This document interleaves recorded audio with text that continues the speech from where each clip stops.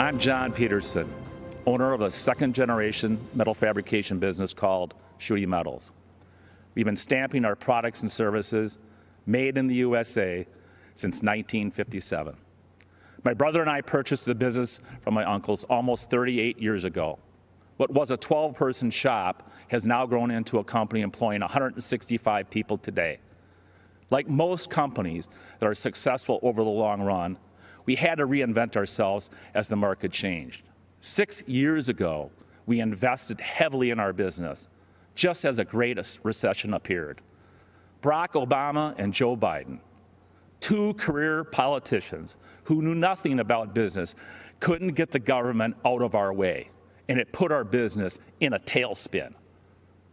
Sadly, we were forced to make decisions which included cutting staff a torturous experience when our employees are like family.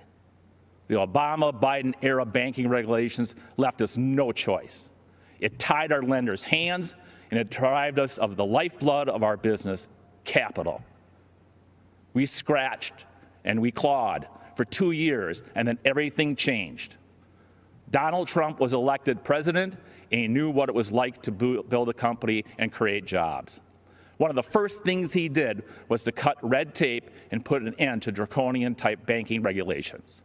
He also cut taxes on small businesses, allowing us to be more competitive both domestically and internationally.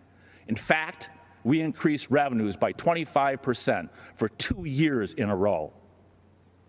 By getting rid of the job killing NAFTA and negotiating the US Mexican Canada trade agreement, President Trump ensured a more competitive playing field for American companies.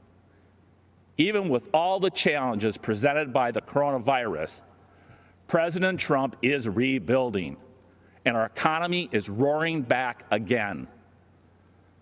But when I hear that Joe Biden is ready to raise taxes, crush us with regulations, and weaken our international trade position, I shudder. We simply cannot endure a Biden induced recession.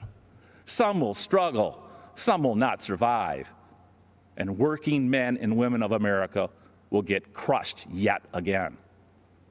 This is not time to hand our government over to a washed up career politician who will be nothing but a puppet of the radical left Democrats. As a lifelong resident of Wisconsin, I'm a fan of the Badger football team.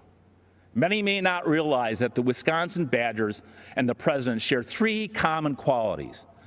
They are smart, they're tough, and they're dependable. And as a businessman, I can tell you that those qualities we, we need in our country's leader, and that's why we need to reelect Donald J. Trump. Thank you, and God bless America.